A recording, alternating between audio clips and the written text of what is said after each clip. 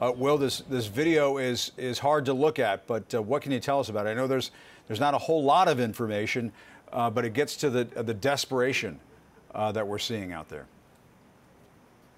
Well, this location in southern Gaza, the Rafah crossing, is essentially one of the only lifelines for the 2.2 million people in Gaza because it's where you can bring in supplies from Egypt. There's a there's always a long line of trucks waiting to cross, but they don't always get through. Uh, today, uh, we know that there were dozens of trucks that did get through, but their uh, efforts to distribute aid in Gaza were hampered by these large, desperate crowds. You're talking about hundreds of people, uh, at least that's what we can ascertain from this footage, uh, jumping on the trucks, trying to break in and grab whatever items they could. Uh, it seemed as if it was really a mad dash, and at some point, gunfire erupts. So, adding to the chaos and the confusion is the danger of bullets whizzing through the air we don't know who was firing the shots. We don't know how it started or necessarily why. But in a chaotic situation like that, when people are so hungry and so desperate and so determined to try to get what they can, in many cases, just to support themselves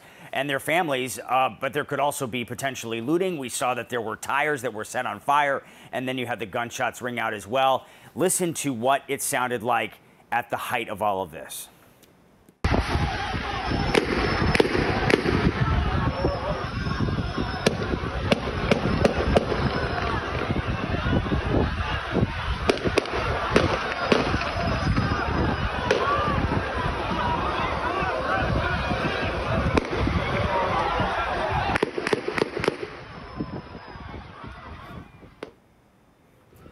It is Christmas Eve, Jim. Mm. These people have lived through week after week of airstrikes.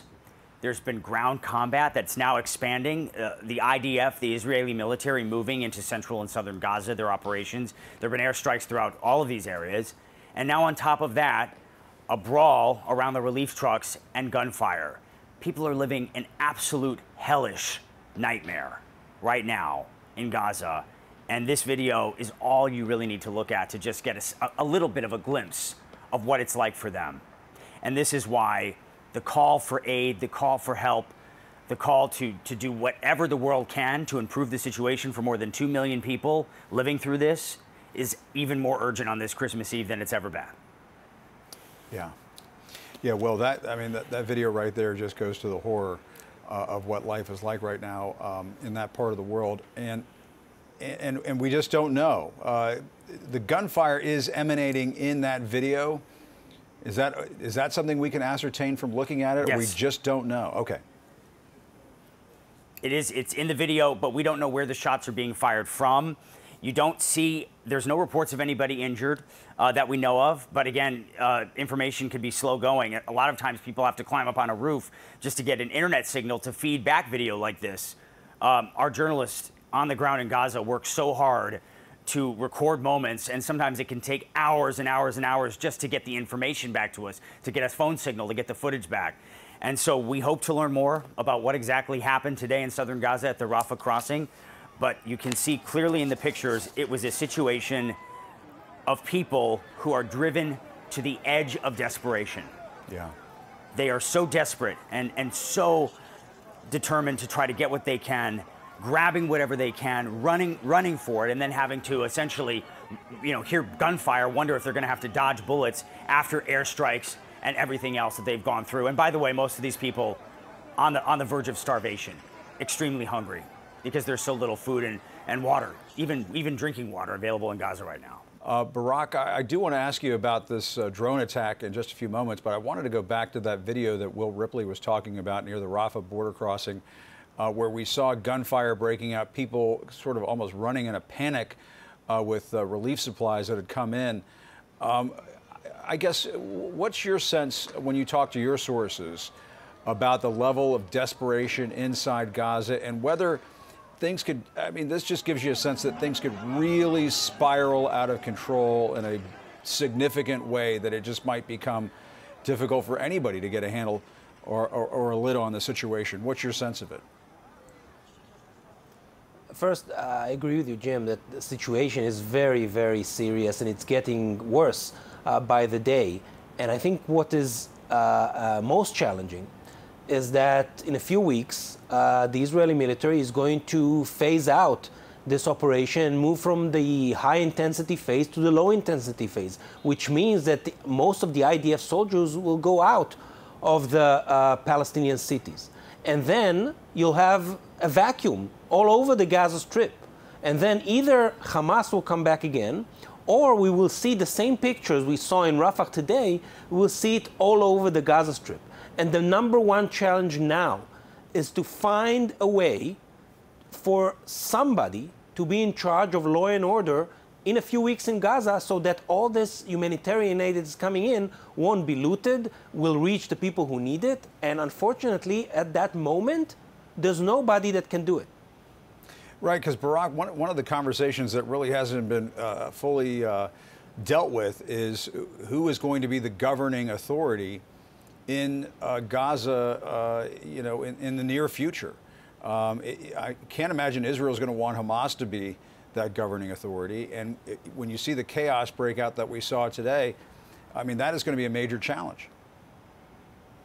Of course. And uh, if, there, if it's not Hamas, and if uh, there's no other uh, volunteer that can take uh, the Gaza Strip under its responsibility, the Egyptians are not going to do it, the Saudis are not going to do it, the Emiratis are not going to do it, then Israel can find itself, again, not next year and not uh, uh, six months from now, but a few weeks from now, in a situation where it will have to take responsible, re responsibility for 2 million Palestinians in Gaza. And this is the last thing Israel wants. But if there's not going to be any alternative governing body, and for now there is not, you know, the responsibility will lie at, at you know, Israel's table. Yeah, and, and, Barak, what do you make of the Pentagon singling out Iran uh, for this latest drone attack on this commercial uh, ship? It does sound as though uh, that, that, tensions uh, are, really building, and it almost feels like a foreshadowing of something to come. Uh, to send a message to the Houthi rebels, to send a message to the Iranians potentially. What, what can you tell us? I think what's important and interesting in this recent attack that uh, generated from Iran, this drone attack against this ship near the coast of India, is that it's a kind of attack that we haven't seen for many, many months.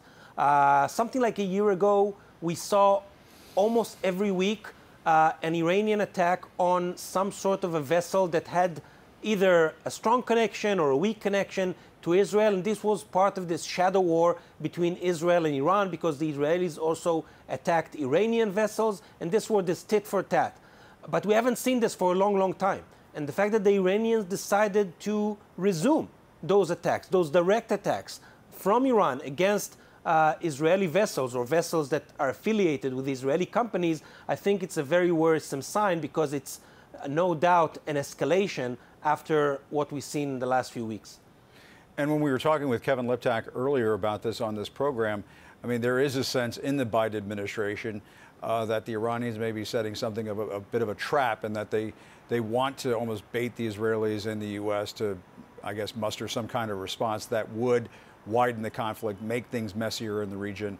And I suppose that there's there's that side of it too that that has to be dealt with. Yeah.